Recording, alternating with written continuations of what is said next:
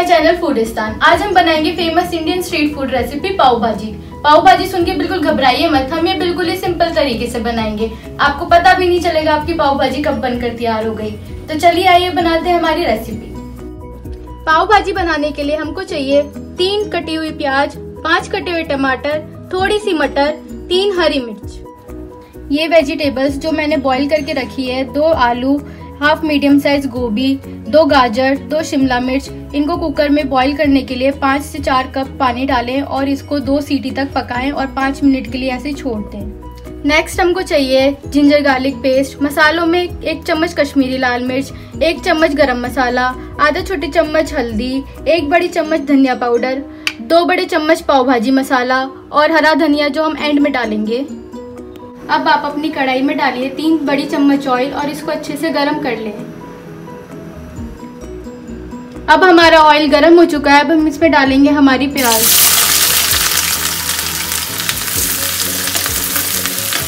प्याज को अच्छे से पका लें। अब इसमें ऐड करें जिंजर गार्लिक पेस्ट और अच्छे से मिक्स कर लें। अब हमारी प्याज गोल्डन ब्राउन होनी शुरू हो गई है, अब हम इसमें अपनी ग्रीन चिली ऐड करेंगे।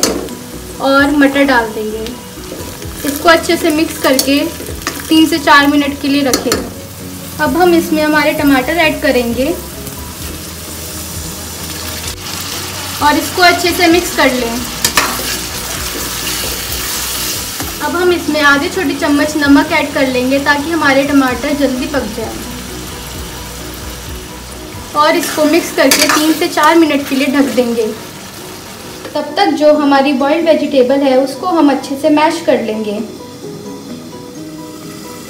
चार मिनट हो चुके हैं। अब हम इसको अच्छे से हिलाकर ऐसे हल्का सा मैश करके फिर से दो मिनट के लिए ढक देंगे। अब हम इसमें हमारे मसाले ऐड करेंगे। अब हमने इसमें पाव भाजी मसाला डाल दिया अब हम बाकी सारे मसाले डालेंगे।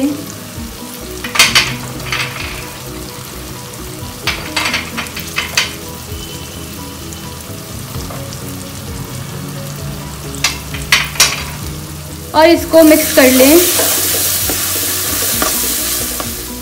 अब इसमें नमक ऐड करें। नमक आप अपने अनुसार डालें और इसको मिक्स कर लें अच्छे से और एक से दो मिनट के लिए ढक दें।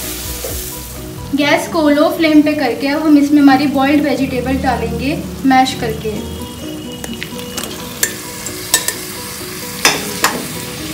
और इनको अच्छे से मिक्स करें।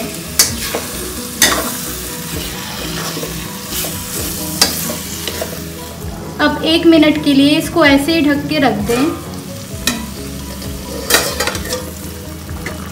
अब हमने इसमें तीन से चार कप पानी ऐड कर दिया है। अब इसको अच्छे से मिक्स करके इसको 10 मिनट तक पकाएँ। पाँच मिनट हो चुके हैं। एक बार इसको अच्छे से फिर से मिक्स करके हल्का हल्का सा मैश करके,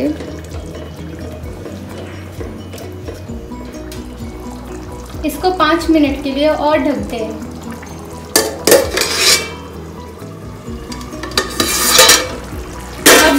मिक्स करके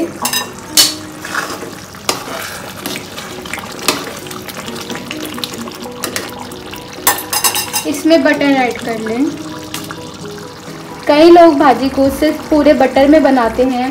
कई लोग सिर्फ़ ऑयल में बनाते हैं। हमने इसमें ऑयल और बटर दोनों का यूज़ करा है।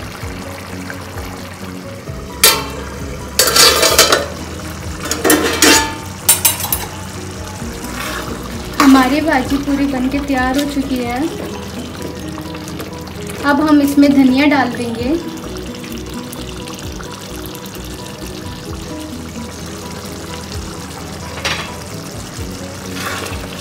और इसको अच्छे से मिक्स कर लेंगे।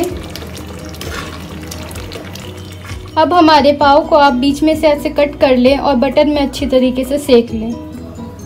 इनके ऊपर भाजी मसाला डालें। थोड़ा सा धनिया। और इन्हें अच्छे से सेक लें। हमारी पाव भाजी अब बिल्कुल बनकर तैयार हो चुकी है। सो ये है मेरी रेसिपी अब आपको जब भी पाव भाजी या कुछ चटपटा खाने का मन करेगा, आप आराम से अपने घर पे बना सकते हैं। मेरे चैनल को लाइक करें सब्सक्राइब करें शेयर करें कमेंट में बताएँ आपको मेरी रेसिपी कैसी लगी। Thanks for watching